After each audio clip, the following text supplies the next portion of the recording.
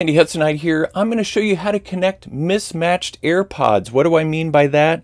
I have a first generation AirPods case here with only one AirPod in it, the right AirPod. And then I have a second generation AirPod case with only the left AirPod.